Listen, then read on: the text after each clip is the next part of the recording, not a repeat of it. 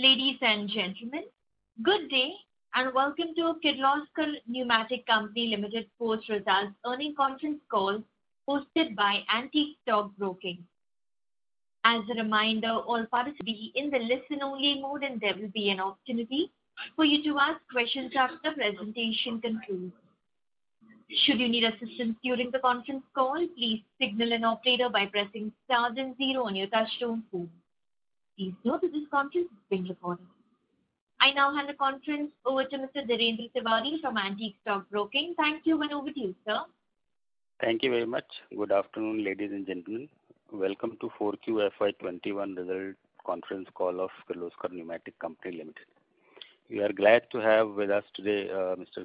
K. Srinivasan, Managing Director, and Mr. Suhas Kolhatkar, uh, CFO of Kirloskar Pneumatic Company Limited, along supported by Mr. Jiten Shah, Company Secretary.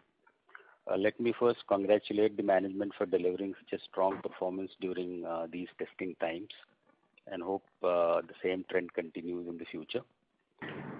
Without wasting too much time, I would now hand over the call to Mr. Srinivasan for initial remarks, post which we can take the call for question and answer.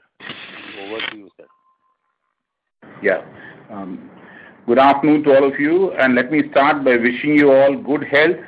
Let's all focus on the three Ds, double vaccination, double safety, and do all the good things that we can to keep a positive spirit and keep doing our good work. Before I start, can I request our compliance officer to read out the cautionary note, please? Good afternoon to all. The discussion on the financial results during the earnings call may contain statements relating to future business developments and economic performance that could constitute forward-looking statements. While these forward-looking statements represent the company's judgments and future expectations, a number of factors could cause actual developments and results to differ materially from expectations. The company undertakes no obligation to publicly revise any forward-looking statements to reflect future events or circumstances. Further, investors are requested to exercise their own judgment in assessing various risks associated with the company and also the effectiveness of the measures being taken by the company in tackling them as indicated during the discussions. Thank you. Thank you all. So Let let me start again saying that 2020-2021 was an extraordinary year in many sense. Uh, none of us had faced this kind of a pandemic ever in our life. We had to handle lockdowns. We had work disruptions. Nearly 15% of our workforce got infected during the course of the year. And like you know, every time there was an infection, all the first-level contacts had to be quarantined, tested. So there was a tremendous amount of parallel activity in keeping the workforce active.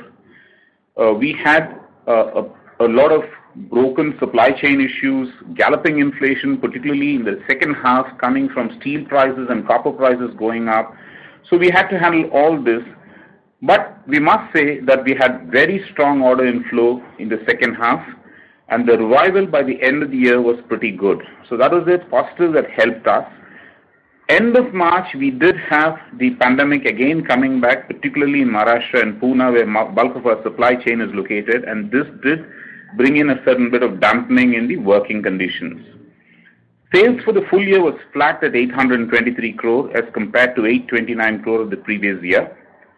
Considering that the Q1 of last year was almost a complete washout because of all these lockdowns and restrictions, we would say the performance was rather creditable, particularly driven by the major product lines in the compression segment, which is air compressors, refrigeration compressors and systems, as well as gas compression systems doing very well.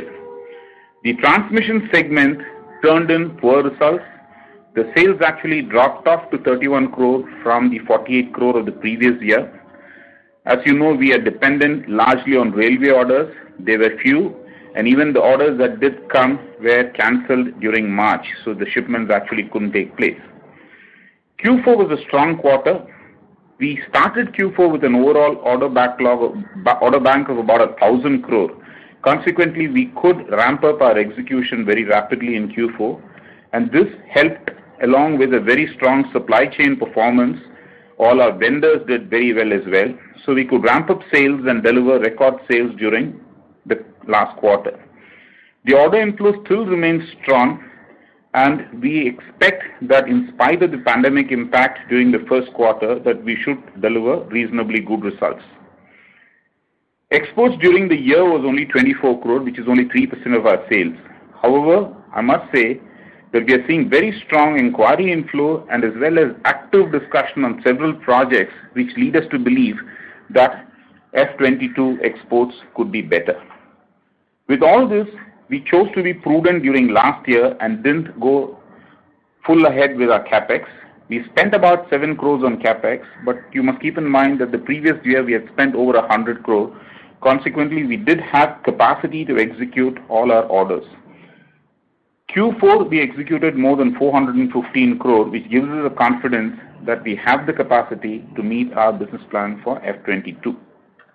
Having said it, I must add that we have planning to incur about a 50 crore CapEx during the year to see that we build both capacity and capability for future growth. Significant sales in Q4 meant that we also had significant receivables. As we speak, we are collecting very aggressively. We had a receivable of 119 crore extra in F-21 compared to the previous year, but this was also moderated by a reduction in inventory of about 52 crores. So overall, this helped us to have a free cash flow from operation of 37.5 crore, which is 58% of PAT. This shows a significant improvement in the quality of our earnings. Now let me take it by the various segments. We have broadly two segments, the compression segment and the transmission segment. The compression segment, basically we did 784 crores of sale compared to 775 of last year. The air compressor division established its screw compressors. Many of you have been asking us that how and when will our screw compressors be in the market. I can tell you proudly that the screws, first of its kind, designed in India, manufactured in India, have been established, put in the market, and we are we are getting very very good performance feedback. As you know, we chose the less traveled path of going through know-why, building our own IP, and building our products rather than acquiring a quick know-how to make the products. This, we believe, is a long-term differentiator and will help us to grow this business aggressively. Another major product development has been the centrifugal compressors. These are high volume compressors, and we have built this during this year with our own inbuilt design, our own impellers, our own internally built gearboxes on our CNC machines. So this again is a great product line that we have launched, and this we expect to grow in the coming years. As far as the reciprocating compressor business, which is our mother business, special mention I would like to make here is the fact that we delivered 24 large compressors for the oxygen plant manufacturers in India at great speed right through the year. This becomes so important during the time when we're all struggling to get oxygen. In our estimate, the air compressor market is definitely about 3,000 crores in India. Though last year was flat, this is a market that globally continues to grow. The refrigeration compressor system business had a moderate sale during the last year. The division actually saw saw a decline in the sale of ammonia compressors to the cold chains and ice plants because no new plants were built during the year. However, the refractory systems, uh, the refrigeration systems, petrochemical complex, and hydrocarbon industry saw a pickup in the last two quarters after a very poor H1. Domestic refrigeration market is roughly about 1,200 crore, and we see this market continuing to grow. The process gas systems, or the PGS as we call it, is the larger part of our business. We had record sales of CNG packages during the year to the city gas distribution companies. We not only delivered and commissioned most of these plants, but we actually ran them right through the pandemic across 15 states on a 24 by 7 basis. Except for one day, we ran these plants right through the pandemic. This is an important thing as it provides reliability of transportation to people. We expect this business volume to grow in the coming years with the ninth and 10th round of the city gas distribution bidding has been planned, and we expect another 8,000 CNG stations to come up in the next 8 to 10 years. covering approximately 70% of the Indian population, and this is expected to bring in a business of about 6,000 crore to this industry, and KPCL will also share a part of this business. We continue to deliver large gas package systems to the oil and gas sector, and this business, though it was muted in H1, picked up very well in H2. The domestic gas compression 1,200 crore plus, and it continues to grow tremendously. As you know, the government has announced that the gas intensity of our energy package would go up from 6 to 12 percent so this segment would see dramatic growth. To give you all an idea of the sales breakup within these three product groups in the compression segment, I should add that air compressor sales constitutes about 15 to 18 percent of this segment of our company's total sale. Refrigeration compression system accounts for about 30 to 35 percent, and the gas compression system accounts for the line share, 45 to 50 percent by which you can always see that the transmission segment is minus 5% for us. Transmission segment had a 31 crore sale compared to 48 crore of last year. So that's a significant decline in business. We just didn't recover from the first quarter washout, and the railway orders were extremely muted. The business continued to lose money, and we had to take a call of what we will do with this business group. What we did do in the process of having time to develop, we developed the high-speed gearboxes. This not only would be the backbone of our centrifugal compressor business, but also we have extended it to make high-speed gearboxes for 50 megawatt power stations. So this is a growth area for us, and we expect that this will pull this segment out of losses. Another business that is not much known, and I thought I'll take some time to explain this business to you, is about the road railer. The current size of the business is small that we are not showing it separately as a segment, but hopefully going forward we would have a reason to present more about it to you all. But let me give you a background about this business because this doesn't exist with any other company in the country. So let me give you a small background. In the 19, in the 90s, Wabash US popularized an intermodal transportation called the road railer. It is called road railer because it runs on the road as well as on the rails. This concept developed very quickly in US and moved to the other parts of the world wherever long distances had to be covered with for haulage of goods. At KPCL, we thought this was a wonderful idea to start, primarily because it is a pioneering concept and it could fundamentally change the way long distance haulages in India could be handled, particularly with relatively underdeveloped road network and poor cargo carriageways. We invested in this business Having had the relationship with railways for over 30 years, we started building the road railers in a modified plant at Nasik. Our team was sent across to Wabash for training. We arranged to get all the permissions done. We had to get the approval from the railways to run the wagons on the rails. We had to get permission from the state transports for running the railers on the road in different states. So all this was organized and we started putting this together. By 2016, our team was ready. We had got the necessary approvals working. We started building the railers. We built the first set of railers which could be put on road.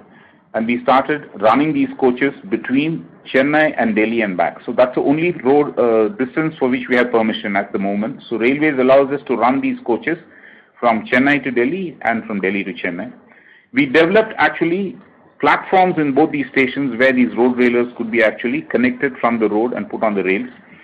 We had to build all this, then had to get a network of logistic suppliers to partner with us so that they would actually get the cargo from customers and bring the road railer onto the track and again take it off the track and deliver it to customers at the receiving end. All this was done, the first full year of operation would have actually been F21. Unfortunately, five months of it we lost, but in spite of it, we ran it, uh, over 1,250 road railers ran between Chennai and Delhi. The concept has been extremely well received by customers. The trains have run successfully. There have been no difficulties, no technical challenges, and now we expect to scale this up going forward. The approvals are in place. The technology has been demonstrated. Customers have been convinced of its efficacy and cost effectiveness, this is the nearest you can come to automation of long distance transportation. We expect on the long term that with suitable logistic partners, this can be scaled up both in terms of volume and in terms of routes. But I must add here that the long-term interest of KPCL would remain primarily with manufacturing of the road railer unit rather than actually running this as a separate business. Now coming to the outlook for 21-22. Q4 of F21, we faced uncertainties towards the end, particularly in March, because Maharashtra and Pune were started getting impacted early March onwards. The pandemic was already started disturbing our work, but we did run through March. We are seeing the effect of it in a deeper sense in April, but we definitely hope that with the strong order backlog of over 900 crore, that we will really do well in F22. We must say that we have strong order backlog as a win point, plus we also have quite a few right to win projects. A lot of investment that had gone into developing newer products would come to deliver results going forward. With this, we expect that we will deliver double-digit growth both in top and bottom line. I must also update that we'll give you a better position on this in the next quarter. On a longer term, we are committed to our aspirational target of doing at least 2,000 crores in the next three years. That's broadly what we're looking at, and we will continue to work towards it. Now I'm going to request Suhas Kolhatkar, the CFO, to give you the financial numbers, please. Thank you. Thank you, and uh, good afternoon, everyone on the call. I'm sure you, your relatives, and colleagues are taking adequate care to ensure good health in this period of pandemic. I wish you all uh, good health in the future as well. Uh, by now, you must have gone through the results which we posted on the BSE website after yesterday's board meeting. However, for the benefit of those who probably did not get a chance to have a look at these results, uh, let me now summarize the financial performance of FY 2021 of KPCL. With suspension of operations in the last week of the last fiscal, FY 2020, uh, which continues in the first two months of the current fiscal due to nationwide lockdown, it was a tough task for us to plan sales which are not significantly lower than the last year, though. However, at KPC, all of us worked to that effect to ensure that the value to the shareholders is not only protected but enhanced. The sales for the year are at 823 crores compared to the previous year's sales of rupees 829 crores. Sales remains, though, stagnant, with the first quarter virtually getting washed off, having registered only 10% of sales of the total of the annual turnover. Achieving the sales of over 820 crores is almost equal to 20% growth over previous year on an annualized basis. On a five years basis, when we looked at, the sales grew at uh, 11.5% CAGR. Material consumption as a percentage to sales, uh, excluding lease income, uh, you are aware that KPC also has sent the compressors on the lease and against from where we earn the lease income.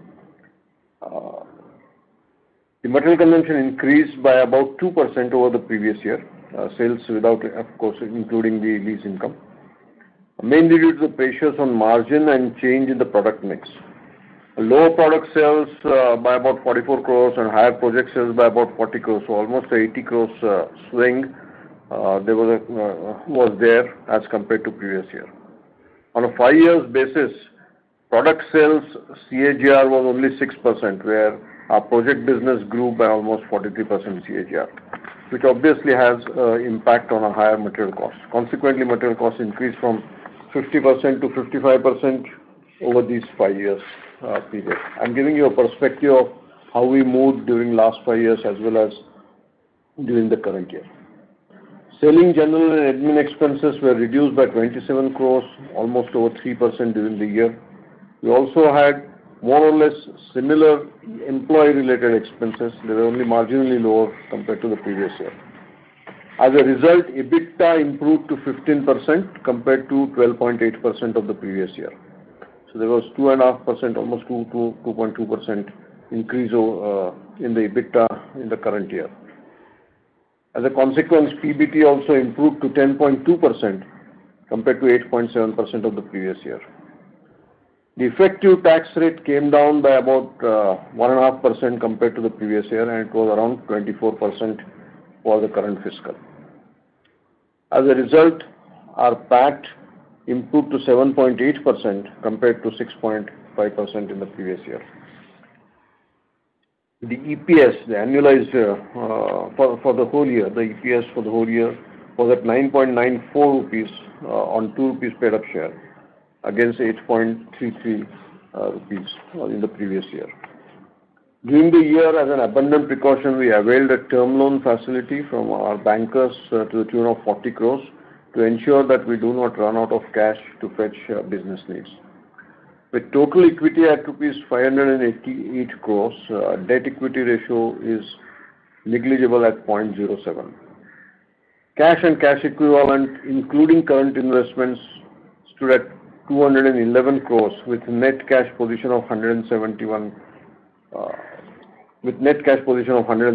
crores after removing that uh, 40 crores of the loan that we availed, which represents an increase of 38 crores, 37.5 crores to be precise, uh, over the previous year. This reflects on our working capital management as well.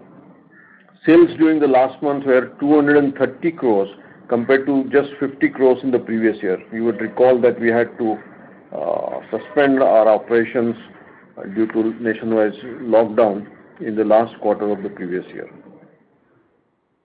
Because of the heavy sales in the last uh, quarter and the last month, our receivables increased to 308 crores, which represents about 136 days sales on an annualized basis compared to about 189 crores in the previous year. However, inventory came down from 107 crores, which only represents 75 days consumption, compared to 159 crores, uh, representing 114 days consumption in the previous year. During this difficult season of pandemic, we ensured that our vendors are paid in time and creditors movement, despite the increase in receivables, was not significant. Creditors rose by only 9 crores.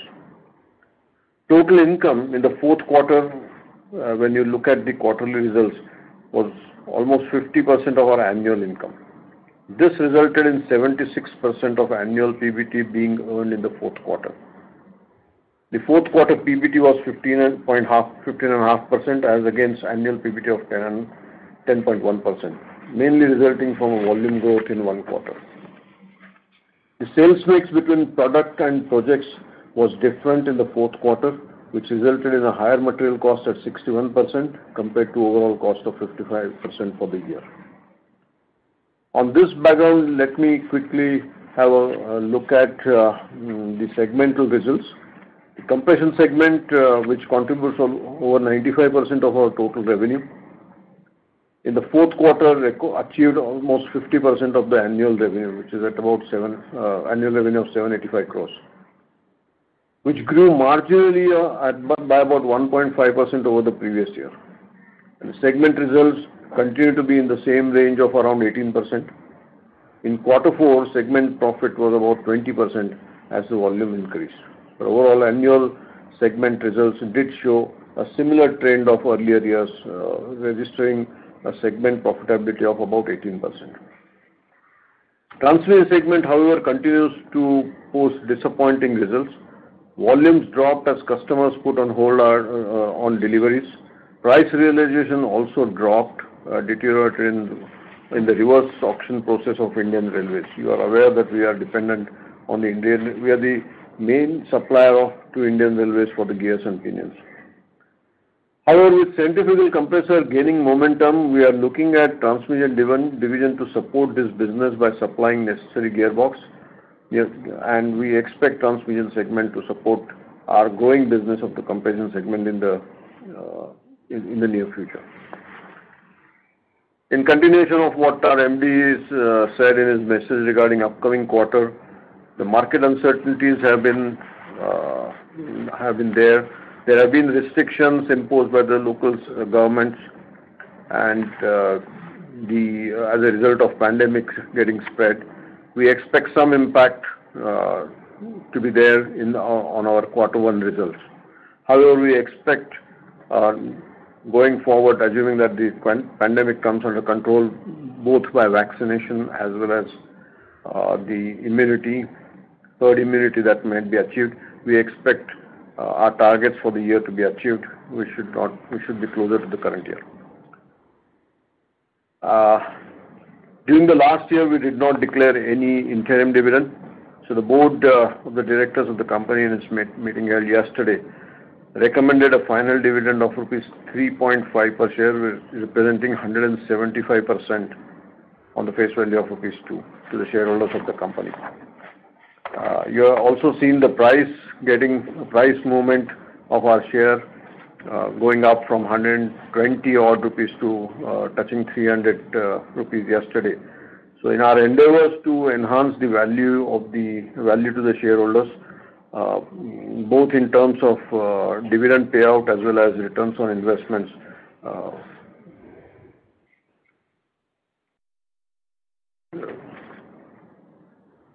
Both in terms of returns on investments as well as uh, the in terms of yield by way of a dividend.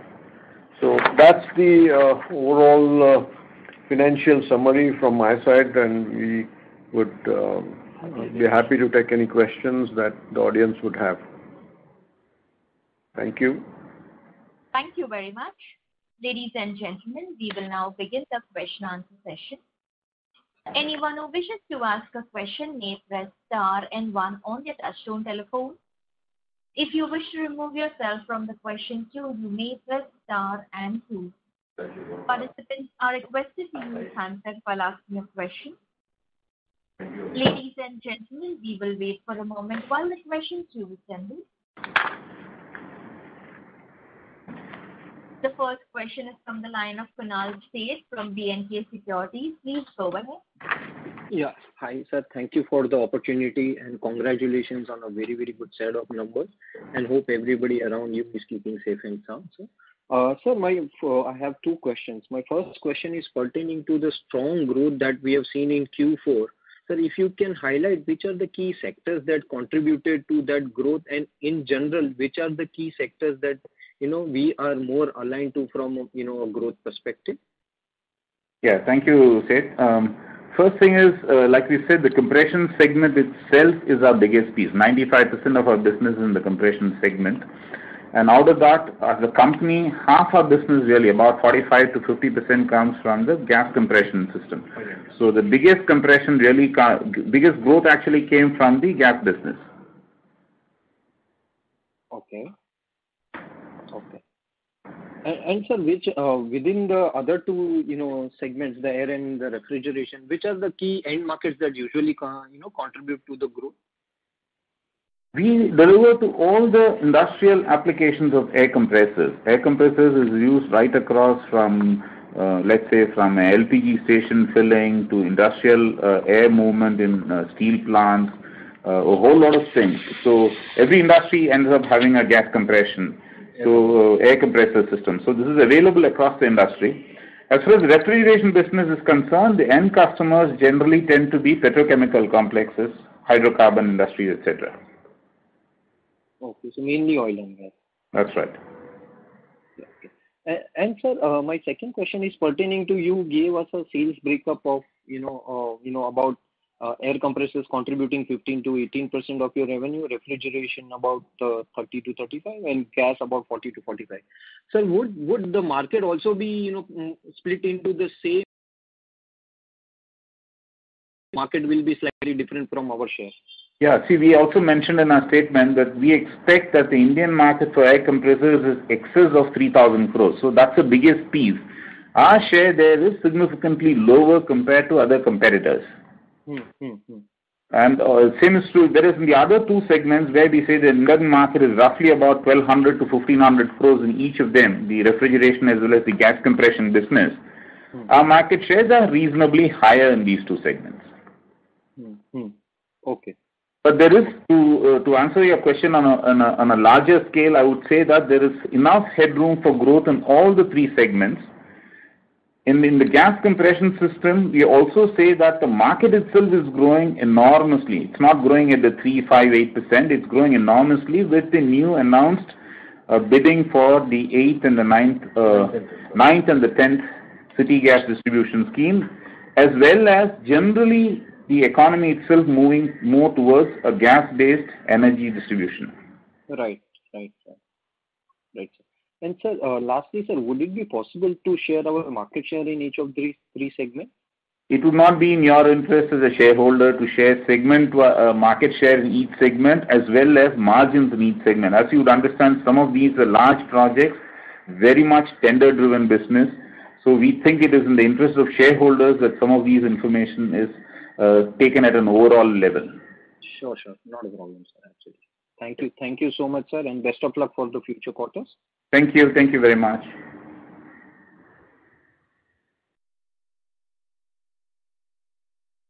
Mr. Sheth, does that answer your question? Yeah. Thank you so much. Thank you. The next question is from the line of Renu Baid from IIFL. Please go ahead. Yeah. Hi, good afternoon, sir, and congratulations for the strong results. My first question would be, you did highlight that the exports has been pretty low today, but from a medium-term perspective, there are efforts to increase this portfolio. Uh so if you can share some inputs in terms of what are the strategies, initiatives company is doing to expand the footprint. And um do we have any medium-term targets to step up exports? And what is the channel to market in this space in terms of pre-qualifications and others? Yeah. Thank you for the question. The first thing, like I said, uh, we have a significant headroom for growth in all the three segments, particularly in the air compressor segment, our market share is much lower than most of our competitors. So where where we have put in a lot of effort is in terms of investments to create our own screws, our own impellers, the entire uh, design for this, the gearbox for the centrifugal compressors, as well as all the other inners are all being made by us. With the design capability to design our own impellers and screws, we believe we will be able to take a larger market share. One, because we'll be able to customize it. Two, we'll have more made to specific requirement products. Our supply chain is much more domestic, and this will allow us to compete in this market more efficiently. We expect to win market share in this, also address some of these requirements which are currently being addressed by imports. That's where we expect the biggest delta in terms of growth to come from. Mm-hmm. But do we have any uh, medium-term targets or for the segment in terms of screw compressors? Uh, as in three years, what could be the size and scale of this business or market share that we're targeting? We have given an overall aspirational target for the company of trying to do 2,000 crores at least in the next three years, and that will include most of the compression segments because the transmission business is going to become more and more delivering gearboxes to the centrifugal compressor requirement. Sure. Um so secondly, uh, if you look at the steep inflationary headwinds uh, which have been witnessed in the last uh, three to six months, um, how is the position in terms of taking adequate price hikes? And um, are we seeing the projects coming through um, are facilitating sufficient enough price increases? So likely impact on margins for uh, the next uh, financial year. Yeah. The good thing about having an order bank is that we have the order with us already, so we know exactly what to plan. Uh, but the inflationary pressure on input costs, particularly coming out of steel and copper going into motor, is going to make it a challenge for us to ensure that the material cost doesn't go up. We will try and win this by better efficiencies, better conversion, and internal process improvements. On a longer term, I think the inflationary pressure has to be passed on to the market by way of a price increase. Sure. But do we have, as in, uh, can we quantify what could be the likely impact on gross margins um, in the next uh, three to six months on account of these pressures? We do not expect to see any fall in margins that's coming out of any kind of an inflation. We think we will be able to manage it between our improved working as well as price increases. Sure. Uh, Sir, lastly, the question related to, um, given the fact on the recent pandemic side, government bodies and other private bodies are uh, very aggressively stepping up the infrastructure for PSAs. Uh, so, what could be the likely opportunity for us? Um, and are these type of uh, products that go on the tender-based, or they work on project basis with individual consultants and uh, manufacturers there? Very topical question that you asked. I think the government is buying a lot of PSA-based oxygen generators. Uh, most of these machines in India would end up having to buy small size compressors, screw compressors.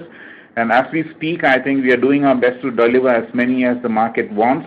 Um, even this month, I think a significant amount of our shipments are going out to these manufacturers. but the Indian manufacturing capacity for this is not driven by the availability of compressor as much as the other things.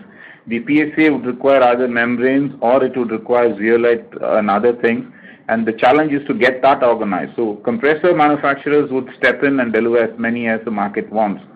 But this is going to go on for the next couple of months. This demand is there, and we're doing our best to meet it. That's for the smaller PSA-based oxygen generator. But the big players are where they make these large oxygen by expansion. They use our reciprocal compressors. We have delivered 24 of them in the last year. These are very massive ones. They would be as big as what 10 or 20 PSAs could deliver. And this is going on in a much larger scale, and this would make a big difference for the oxygen availability. Got it. Got it. Uh, Thanks much, sir, and all the best. Thank you. Thank you. Thank you. The next question is from the line of Kirti Jain from Sundaram Mutual Fund. Go ahead.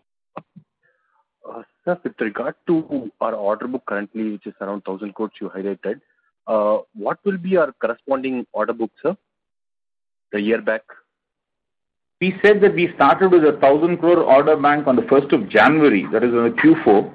We said we're starting again at about 900 crore plus as far as we're getting into Q1 of this year. Last year, I think at the same time, we were about 700 crore. Okay. So the uh, order bank still remains pretty strong. Okay. Sir, in terms of our uh, is our total business based on the distribution, uh, I mean, order book driven, or some part of the business will be distribution driven, sir? Like uh, immediate order comes and then we dispatch to the dealer or distributor. How would be the breakup between in the 823 crores of our revenues? A very small part of the business is distribution driven. This is really coming out of the ammonia compressors. This and a small number of the air compressors go through distribution. But a significant part of it is actually from an order bank. Okay. Uh, sir, in terms of after sales, like what are the initiatives which the company has taken uh, in the recent times to improve on that business? In terms of after sales, our reciprocating compressors as well as our ammonia compressors for refrigeration, all of them require tremendous amount of support in the field. We have a field distribution and a field service setup both within the company and through our distribution partners, which is among the best in the country. I mean, uh, I have heard uh, anecdotally from my customers that uh, they buy our compressors simply because we have the finest set of people out in the field working on distribution and service support. I must add here that um, not only our own people, they have been working right through the pandemic, but even our dealers' service engineers, who are really KPCL service specialists, have been running these compressors right through the pandemic. These boys have been out there in the field every day. And that's been a huge advantage for KPCL compared to any other compressor delivering company in India. Uh, sir, uh, for the same level of turnover, uh, when we see the other expenses have been brought down by 27 crores, Uh, what were the initiatives taken and how far these initiatives are sustainable? If you can throw some light, that would be helpful. Uh, can I add something over here?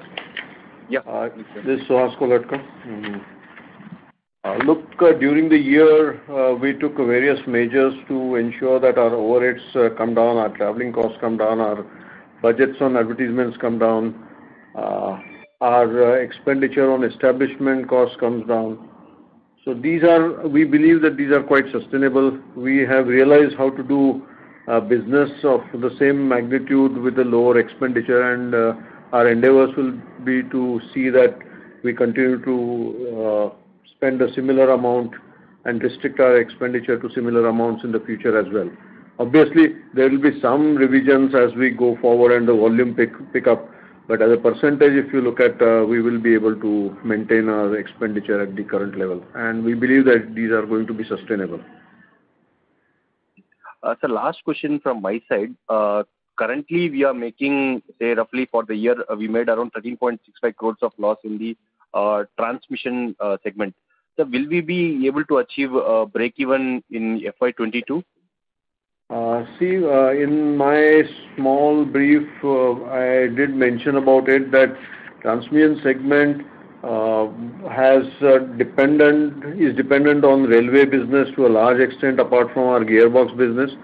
we expect railways business to grow, and we have also said that in our compression business, particularly in centrifugal compressor, which requires driving the which requires the gearboxes, our transmission segment will uh, now assist the compression segment's growth by providing the requisite gearboxes. So this would be more or less as an internal supply mechanism that company will work with. Okay. In the whole process, we will see that how the costs also come down.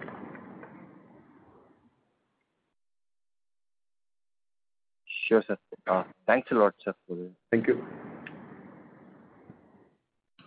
Thank you. The next question is from the line of Bhavin Vithlani from SBI Mutual Fund. Please go ahead. Uh, thank you for the opportunity, and congratulations for good set of numbers. Uh, Sir, a couple of questions. One is, you did mention about uh, development of air compressor products in screw and in centrifugal, which is one of your key drivers of the growth. Uh, could you elaborate more on what is the uh, kind of product range that we are looking at, and what's the uh, spend on the R&D that we are looking at to scale up this business? Yeah. As far as the First, thanks for the question. I think it's an interesting question for everybody because this is an area where we have the largest headroom for growth. I will take the screws first. Our market share on the screws is among the lowest. But in terms of actual investment, both in terms of hardware and in terms of software that goes to develop these screw designs, we probably have the best in class in the country at the moment. We have uh, the requisite software. We have engineers trained with City University in London, with whom we have been working, not just as a know-how transfer, but going through the process of know-why understanding and designing screws for specific applications.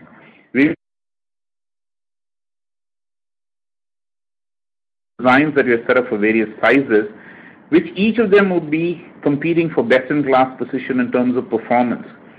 See, there are two schools of thought in any product that you design. You either design products for efficiency. That means you consume less of energy, less of everything for the same output. There's another school of thought that you consume as much as anything else, but you actually give a better output, which is called higher productivity, better performance. We are working on delivering superior performance in most of our products, which means for the same input as any other product, we will deliver superior performance, better output. In growing economies where capital expenditures are expensive, using the same money to deliver more is a superior solution going forward, and this is what we are aspiring to position ourselves at. We would have a superior solution for customers in the screw business going forward. In terms of the centrifugal compressors, this is a very small market, but a very rapidly growing market. We have, again, here a unique position in terms of a completely integrated value chain. We make our own castings, we make our own impeller, we make our own gearbox, and we have a full assembly, super balancing setup, and delivery, commissioning, service support. I don't think any other company in India can do all this at the same time. So here we have a huge value chain advantage, which means superior solution at a very competitive price, all made in India. So I think we have to develop on these right to win positions and grow market share. We expect to do this over the coming years. So just one follow-up. You mentioned centrifugal is a smaller part of the overall market of the 3,000 crore, Uh, but it is growing rapidly. If you could share some numbers, that will be very helpful. Out of the 3,000 crores, what could be centrifugal? Who are the key competitors? And uh, uh, you have very clearly laid out what is your right to win. Yeah, I think I would not be able to answer this question very accurately, so I would skip this at the moment because most of this data is available, as you could see it, in terms of market size in India, etc. The competitors are the big names that you know of. Uh, the market size of this would be probably about 10%-20% of the 3,000 crore market today. But I may be wrong in this because there are different expectations of what all would constitute in this market size. So I would take it as about 30 crore-50 crore at least at the moment. So that that's useful.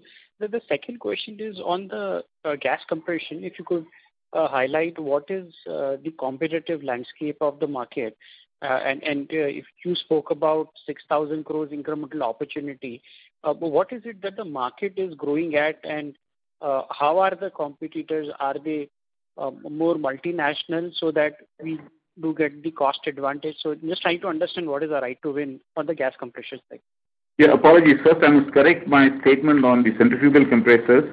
I said 10%-15%. That actually makes it 200 crores, not 30 crores, 40 crores. So, it's 200 crore market size at least. Sure. so That's the first correction, please. 200 crores market size at least. So that's and it's growing rapidly. Uh, the second one is on the uh, gas compression business. We talk of an additional opportunity coming in because of the growing uh, CNG stations and connectivity that will come up. Today, it's relatively a bipolar market, and you know the competition. There are smaller players out there. But again, the unique advantage we bring to the table is Uh, the compressor is built by us. It's our compressor there. The entire package is done in our plant, commissioned and managed by our team right through 24 by seven. We believe we have a better cost position in this. Plus, we believe that we also deliver a superior product in this in terms of performance and in this case, in terms of efficiency. That means it probably consumes less gas or less fuel for the engine to run these machines. So we believe we have a superior position. Our market share, I would hazard, is definitely at least half and half with the other player. Okay. Uh, that's very useful. The last question is, uh, for the company as a whole, what part uh, is the service and the spares business, which is recurring in nature, and how is that growing? Mr. Suhas will help me because he's the man who knows all the numbers. I I would make a mistake like I did for 10% of 3,000 as 30 crores. Yeah, I would give a general estimate. Uh, it's very difficult to you know, assign a number to spares and other business because most of the spare orders go along with our compressor orders. You can say roughly about uh, uh, 15%-20% would be our spares business.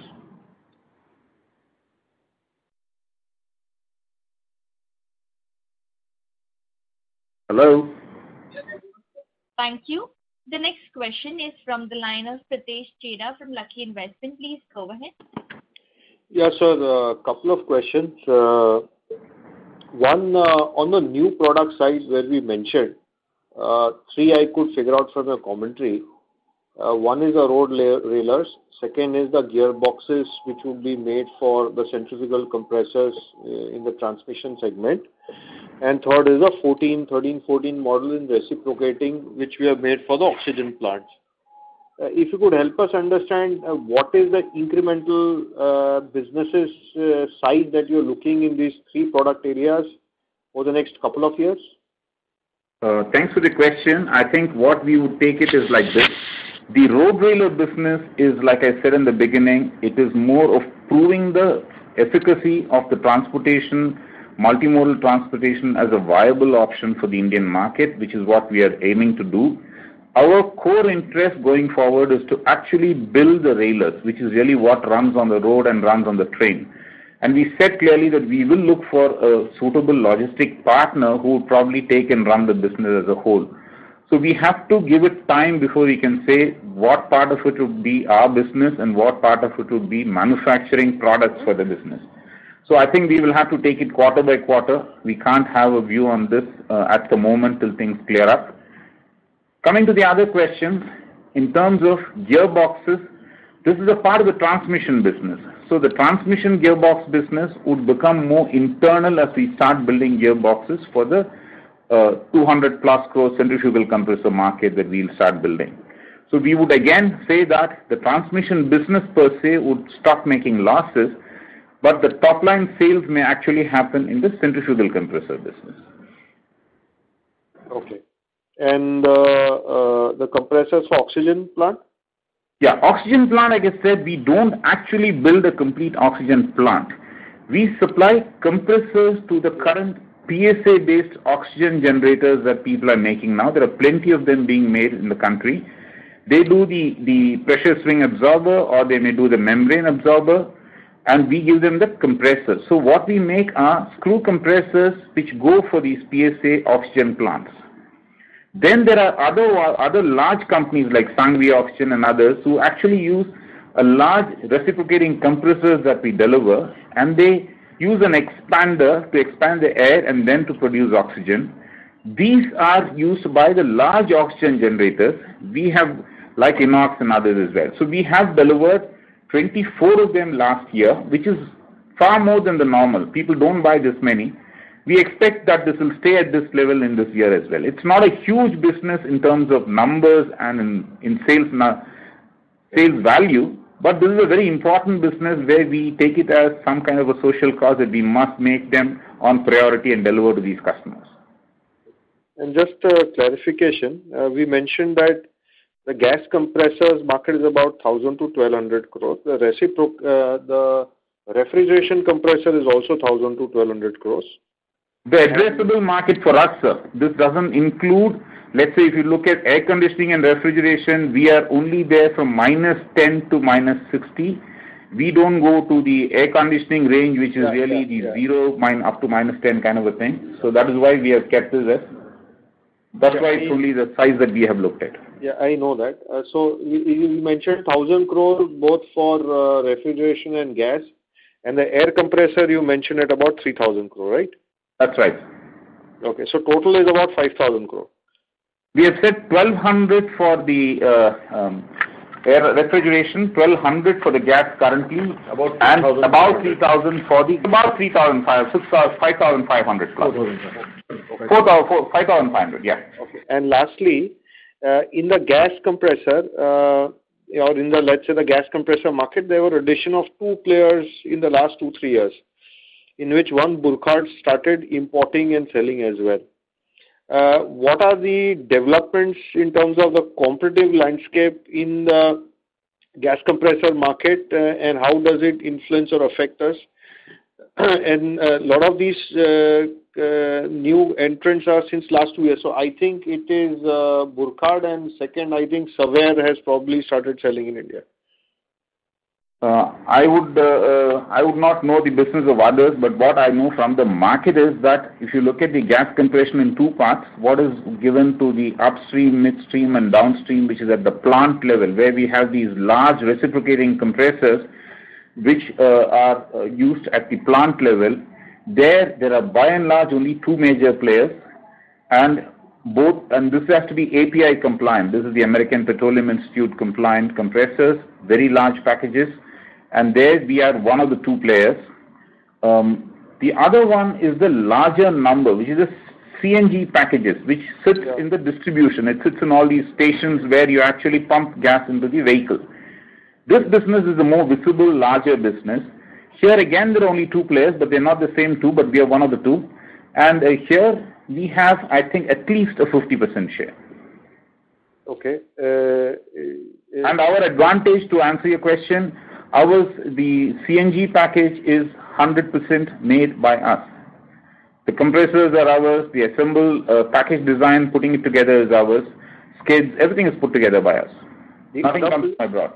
The other player imports, or uh, he also has manufacturing? I would not like to comment on that. I would say ours is Indian-made. And well accepted in the market. Okay. Uh, does the contracts or tenders issued by a lot of these gas companies, uh, do they have any uh, inherent clause which favors Make in India products? There is not really. It is price sensitive, but one big thing that eventually comes to bear on all these compressors and the customers buying this is they have to be maintained, serviced, and supported by the company delivering it. Now, if your supply chain extends 7,000 kilometers, that's not going to be easy to run something like seven in India. Okay. This was helpful. Thank you very much and all the best. Thank you. Thank you. The next question is from the line of Aditya Nahar from Alpha Enterprises. Please go ahead. Hi, sir. Good evening. Uh, congratulations on your results, and thank you for doing this call, sir. Uh, just one question, and you can break it off into two. So which markets are we looking at to export? Is it going to be Africa? Is it going to be North America? And if that's the case, so what uh, products do you think you can export to these markets? If you could talk about this, please. Thank you. Yeah. Thank you for your question. Uh, the product that has got a quick and easy import for us is the ammonia compressors that is used in the cold chain food processing. We have it extensively used in Southeast Asian countries and in some African countries as well. We will try and grow this business going forward. But the larger opportunity that we are into several discussion is really coming around the gas compression business. These, these opportunities are largely in uh, the MENA countries, Middle East, North African countries, and we are in discussion with several big projects in this area. MENA. Great, sir. Thank you so much. Thank you. Thank you. The next question is from the line of Viman Shah from One Up Finance. Please go ahead. Yeah, thanks for the opportunity, sir. Uh, most of the questions have been answered. Uh, just two quick questions. A, uh, on the margins, do you think the current margins that we have, you know, kind of delivered in this this year uh, almost sustainable given the current knowledge of uh, you know you having uh, backward integrated and being absolutely product ready in the sense that you now you have a screw compressor ready, maybe API uh, 6, uh, 611, 616 for the gas compression the uh, on the Sentry side because if you have the casing and the impeller uh, going for you, then I think you're almost ready in terms of technology. So, uh, do you think now it's a more sustainable journey for us uh, for next few years uh, in each of these segments? And also the sustainable margins, if you can comment on. First, I must thank you for your knowledge and your question because I was telling that uh, this API 611, etc., is something that I'm still learning now. Good.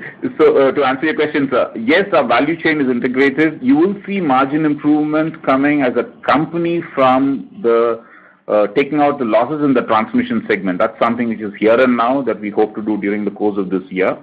Uh, as far as margin improvement in the business itself, I think uh, there are two things that's going to play out here. One is the competitive landscape is likely to remain the same. It's not going to get more intense or less intense.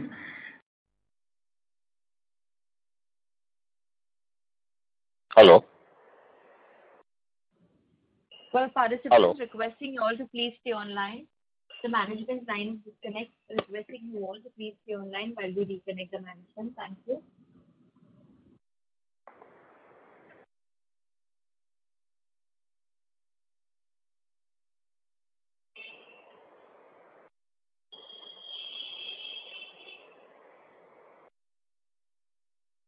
Ladies and gentlemen, thank you for patiently holding the line. It was scheduled for one hour, and it's uh, one hour was over, so maybe uh, that may be the reason. Okay, go ahead, please. You may please go ahead. Go ahead, please. Hello. I've already asked my question, so Yeah, yeah. I Sorry, I, I, I was answering it and the line got cut. I'm sorry. Um, so basically to say that yes, you will see uh, overall company-wide margin improvement with losses in the transmission segments uh, going away. We will also see the margins in the company overall improving, but that's going to be slow because there are two things playing out here. There is a competitive intensity of this market that will definitely change going forward with the scale and size of the market also going up. We will have value chain advantages coming from an integrated value chain. So we have to play out to say that we get market share, we grow, at the same time keep our margins running. So you have to give it some time to see significant growth in margins. Um, My and another question is, uh, you know, uh, the after-sales that you mentioned, and uh, you mentioned that, you know, we have a reasonable advantage in terms of being amongst the best in the country. Uh, So my question to you is that being a strong incumbent, does it give you any added advantage in terms of uh, capability to service any any uh, any machine and uh, any uh, already uh, working machine in the country, and hence, uh, you know, can this be a reasonably ingrained portion of your uh, sustained margins uh, also?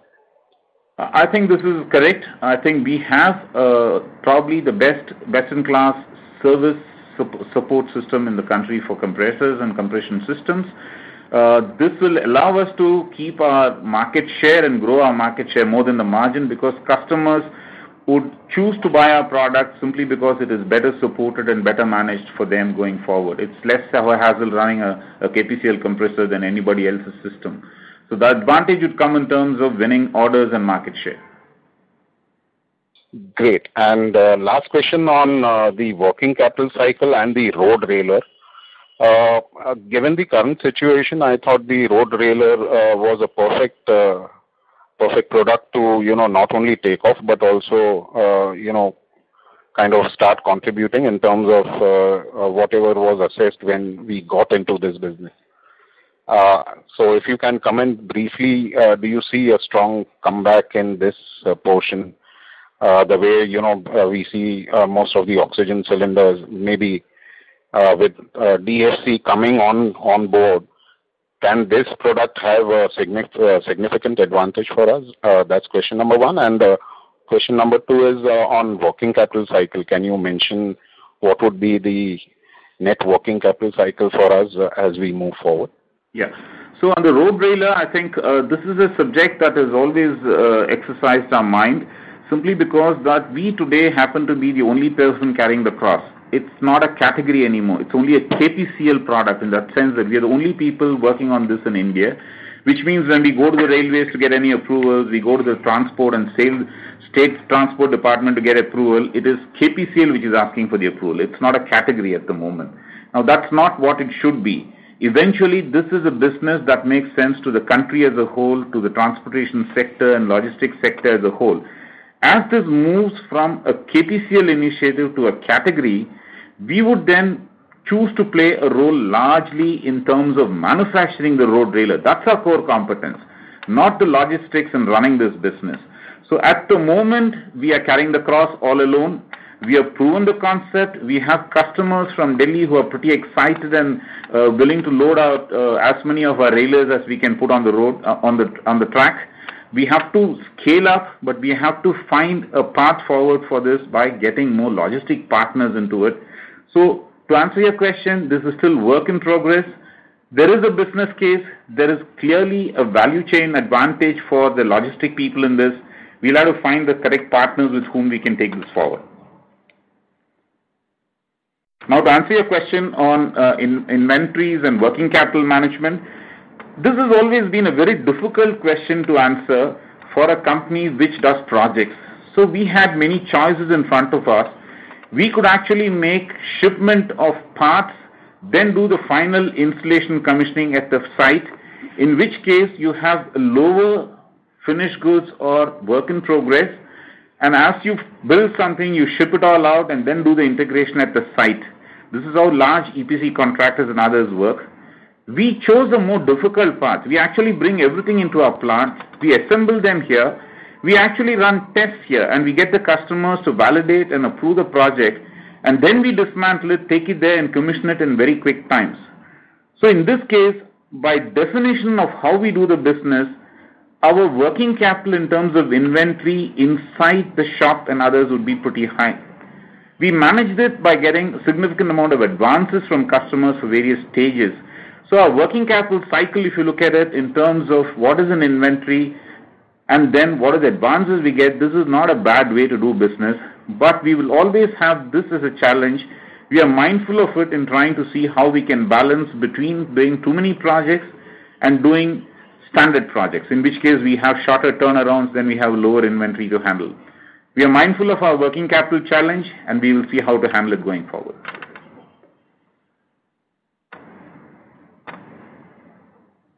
Thank you. The next question is from the line of Bhagyesh Kagalkar from HDFC Mutual Fund. Please go ahead.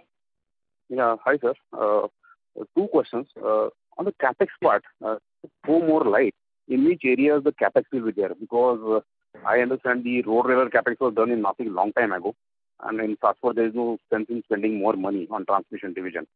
And, yeah, please. Go ahead, sir. Hello? Yeah. So, yeah, please go ahead. We are able to hear you clearly. Please go ahead. Okay. And the second question is, since the transmission division losses are there for last 10, 15 years, and the railway business, anyway, they are getting out of the diesel locomotives, most of them. So is there any sense in continuing that division separately? Because uh, uh, this is a never-ending uh, uh, uh, uh, uh loss, it seems, going by the history. Yeah. So I think your question is extremely valid and important, and I'm happy that you asked this question. First, your question in terms of CapEx. I think most of our CapEx this year will be balancing CapEx to debottleneck our ability to deliver quicker on our PGS projects, that is our process gas project. That is where most of our CapEx will go in terms of expanding our plant assembly area, testing area, getting it out of our packages quickly to the field, et cetera. That's where it's going. We are looking at a 50 crore on that area, largely going around our gas processing systems. Now, as far as the transmission, I think this has been a subject that has exercised our mind tremendously, and I think we have looked at it very closely, whether it really makes sense to even continue to have this as a business. But then we had to take a call which is far more strategic, because as a centrifugal compressor becomes a serious business project for the air compressors, having an in-house high-speed gear building capacity becomes crucial and a differentiating value proposition for customers. Then we built capability around this requirement. We now make up to 50 MW high-speed gearboxes for power stations. There is only one other manufacturer in India for this. Today, as I speak, we have order backlogs for this up to 50 MW gearboxes from power companies. So we believe that as we go forward, this business will be primarily focused on our centrifugal compressor high-speed gearboxes and an allied business of high-speed gearboxes for the power plants up to 50 MW. I think with that, we will turn it around. Okay. Uh, so, one more question. Uh, this is to Mr. Kolhatkar. Uh, Sir, term loan last year to tide over the liquidity issues. And you said that you have net cash still of 171 odd crores. So how do you see things uh, going forward? Are you uh, sitting on the cash or uh, what is it? Bhagyesh, we had these investments into different type of schemes, which were you know, a mix of liquid as well as long-term in mutual fund schemes. Mm-hmm. Part of them are with your scheme also, HDFC Mutual Fund. So anyway, to cut a long story short, uh, we took this as a matter of abundant precaution, uh, just to see that in case if the uh, pandemic disturbances go beyond a certain months, then we should have adequate cash rather than dipping into the returns. And the yield that we were getting on our investments were better than which we borrowed. Mm-hmm. Okay. Thank you. Yeah. Thanks, and all the best from my side. Yeah, thanks, Bhagyesh. Thank you so much. Okay. Thank you. The next question is from the line of Amit Shah. Please go ahead. Home Minister. Mr. Amit Shah from Yeah. Antique Hello. Stock, please go. Yeah. Uh, Uh, sir, my question is, uh, firstly, on this uh, target that you mentioned of around about 2,000 odd crores. If you can just help me understand what is the kind of CapEx that will be required to achieve this particular number. And incrementally, one more on the screw compressor side. I just wanted to understand what is the kind of top line that we are estimating that over the next two years we can achieve in this particular segment. So if you can just help me understand this. Yeah. Thank you for your question. I think, uh, uh, first I must say that uh, this business is a very asset-light business. This is not a capital-intensive business as you generally look at it. It is more of a working capital-intensive business. That's the first thing on the table. Um, second thing I must also add here is that the company has enough of, let's say, cash on hand to fund these growth projects. So we have kept in mind both that the requirement could be in terms of opportunities that we would look at when something of that nature comes up. So we still have cash to look at growth projects. We are looking at that. In terms of what we have planned as an investment, what is visible and announced is 50 crore during this year.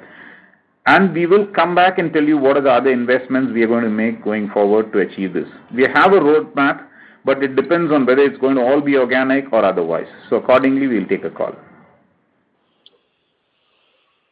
Yeah. Sir. Uh, so, uh, uh, on the same line, with the current capacity, what is our utilization at this point of time, and what would be the revenue that we can generate from the current capacity that we have? I would give the numbers that we have done to give you an idea. During the last quarter, we have done over 400 crores of production. The sale would be higher, but some of it was produced earlier. Approximately about 400 crores was done in the quarter. So even assuming that we can do about 90% of that that could be the capacity that we could execute even as we go forward. Okay.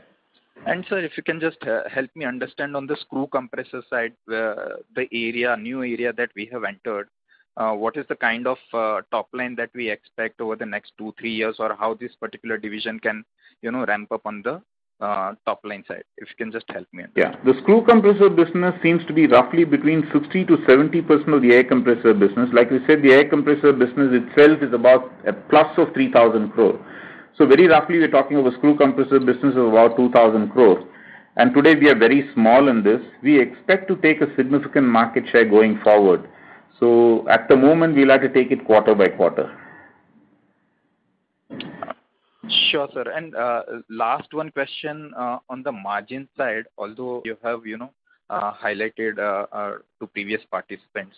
But I just like to understand if there is further scope of margin improvement given that the new areas that we are entering into, and how this margin trajectory could shape up if we are able to achieve this 2,000 crores of top line. Yeah. The margin, I keep saying, would only go northwards. Uh, we are at the margin primarily because we still have the losses as a company having losses coming in from the transmission division. We still have some amount of contribution of losses coming from the rail as well. So as all this goes away, you would find that our margins will only get better. Uh, okay, sir. Thanks. I'm not able to give you a very specific number because it's a very competitive landscape at this stage, so we would have to take it quarter by quarter. Correct. No worries, sir. Uh, thanks a lot. Thanks a lot. That's it from my side. Thank you. Thank you. Thank you. Ladies and gentlemen, that was the last question for today. I would now like to hand the conference back to Mr. Dhirendra Tiwari for closing comments. Over to you, sir. Uh, thank you. Thank you. I take this opportunity to thank Mr. Srinivas and Mr. Kolhatkar for giving uh, time for this conference call. It has been uh, quite uh, quite a period, and the company has done extremely well. Congratulations to you and all the best wishes for future. Stay safe. And I also want to wish safe all other participants. Take care and have a good day ahead. Thank you very much. Now we can conclude the call. Thank you. Thank you all. Thank you very much. Thank you. Thank you, Dhirendra bhai. Thank you, sir. Thank you. Thank you. Bye-bye. Thank you. On behalf of Antique Stock Broking, we conclude today's conference. Thank you all for joining. You may now disconnect your lines.